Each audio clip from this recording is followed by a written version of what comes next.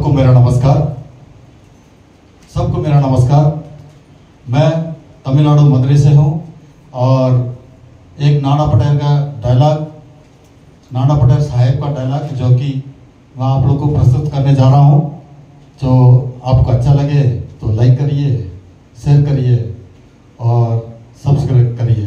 बहुत बहुत धन्यवाद। चलते प्रोग्राम में।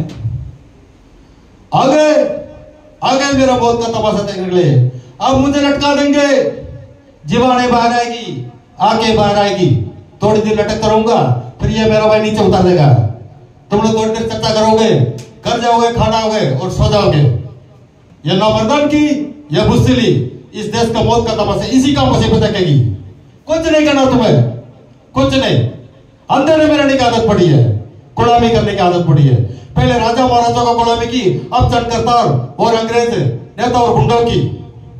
धर्म का बेका आके एक दूसरे का गला काटो काटो। रेखते रहो रेखते रहो सड़ो और मरो। आए और गए केल कदम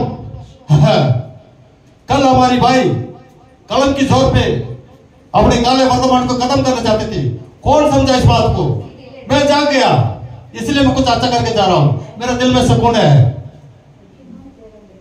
ये, कानून वाले या बंदी वाले तो अपनी ईमान बेचती है। एक दूसरे के चला तो तुम्हारा ईमान कहाँ था? भाड़ में। एक बात बोल रहा है जो कि तुम्हारी खामोशी आने वाले कल तुम्हारे लिए बच्चों के लिए रोना बन जाएगी।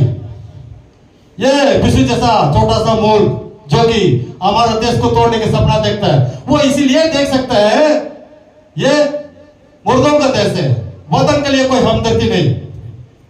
मैं हिंदू, मैं मुसलमान, मैं सिख, बलाना टिमकाना लाठी की कोई भी तोड़ सकता है, लाठी की बारी की कोई नहीं तोड़ सकता मैंने बचपन में पढ़ा था, तीसरी क्लास में, तीसरी क्लास में। मैं क्यों समझा रहा हूँ? मैं पागल हूँ? इन मुर्द ज़िंदा लाश इनको क्यों समझा रहा हूँ? मेरे दिमाग में गुस्सा भरा हुआ